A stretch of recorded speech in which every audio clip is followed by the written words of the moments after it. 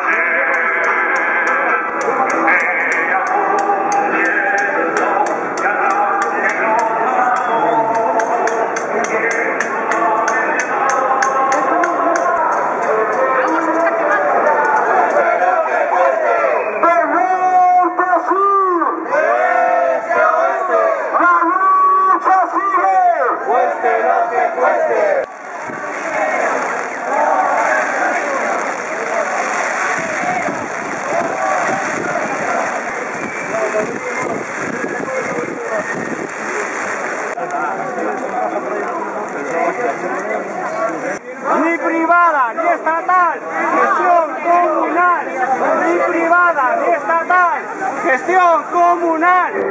Con una tasa de empleados públicos por debajo de la media de la Unión Europea.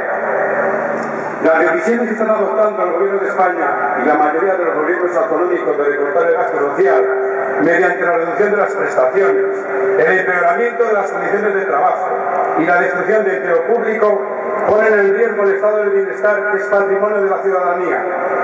La plataforma social en defensa del estado de bienestar y los servicios públicos manifestamos a los gobiernos central y autonómicos nuestro rechazo al proyecto de presupuestos generales del Estado para 2012, así como al recorte adicional de 10.000 millones en sanidad y educación aprobado por el Congreso de Ministros.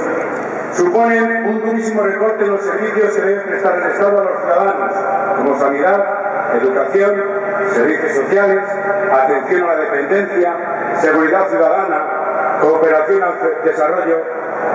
El gobierno pretende condenar con demagogia y sin razones a una buena parte de los inmigrantes que viven en España a no acceder a la tarjeta sanitaria, incumpliendo el mandato constitucional de que los poderes públicos garanticen y tutelen la salud pública para el conjunto de la población.